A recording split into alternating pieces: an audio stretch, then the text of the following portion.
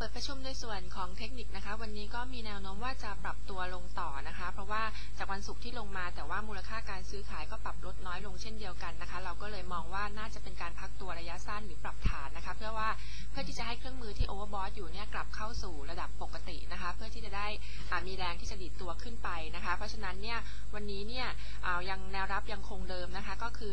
1107 นะคะ แล้วก็ถ้าหลุดลงมาเนี่ยมองไว้ที่ 1,100 แล้วก็จะใช้จุด 1,100 ต่ำกว่านี้เนี่ยเป็นจุดถอยด้วยนะคะ ส่วนแนวต้านนะคะก็อ่า1122 กับ 1130 นะคะ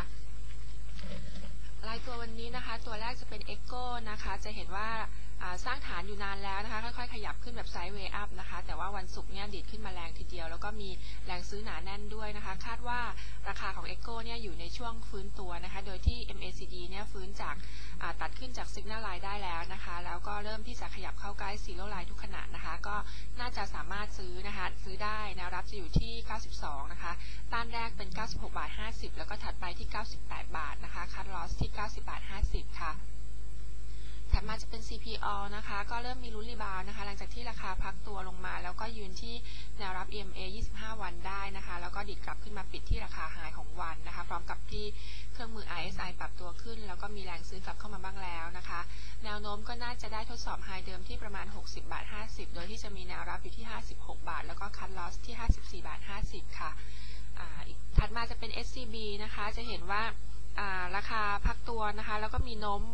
มีแนวโน้มว่าจะดีดตัวขึ้นต่อไปนะคะพักตัวแบบ sideway up นะคะ แล้วก็เครื่องมือเนี่ยกลับมาให้สัญญาณซื้ออีกรอบหนึ่งนะคะ ก็คิดว่า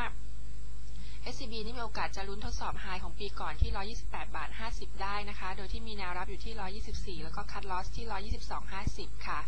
ตัวสุดท้ายจะเป็น TFD นะคะ ก็จะเห็นการแกว่งตัวในกรอบ uptrend นะคะ มาได้อาระยะหนึ่งแล้วนะคะ ล่าสุดก็พักตัวลงมาใกล้เส้นแนวรับนะคะ ก็คือกรอบล่างของ trend line แล้วก็เริ่มมีสัญญาณเหวี่ยงกลับขึ้นได้นะคะ พร้อมสัญญาณซื้อจากเครื่องมือระยะสั้น ก็มีแนวโน้มว่าจะทดสอบกรอบบนของ trend line ที่ประมาณ2บาท12 บาทได้อีกนะคะ แนวรับของ TFD จะอยู่ที่